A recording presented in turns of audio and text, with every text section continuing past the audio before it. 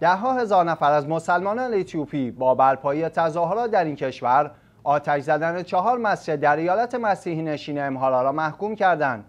فعالان توییتری با اعلام این خبر تاکید کردند که شرکت کنندگان در تظاهرات با سر دادن شعارهایی خواستار حمایت دولت مرکزی از مساجد مناطقی شدند که جمعیت مسلمانان آن مناطق در اکثریت نیست.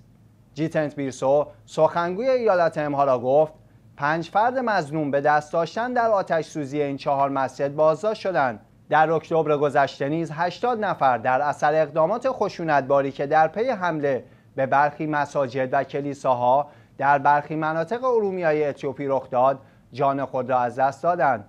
مسلمانان حدود یک سوم جمعیت اتیوپی را که شمار آنها به 110 میلیون نفر می‌رسد تشکیل می‌دهند. این نسبت در برخی مناطق مانند امهارا کمتر است. به گونه ای که مسیحیان کاتولیک 80 درصد ساکنان این منطقه را به خود اختصاص می دهند.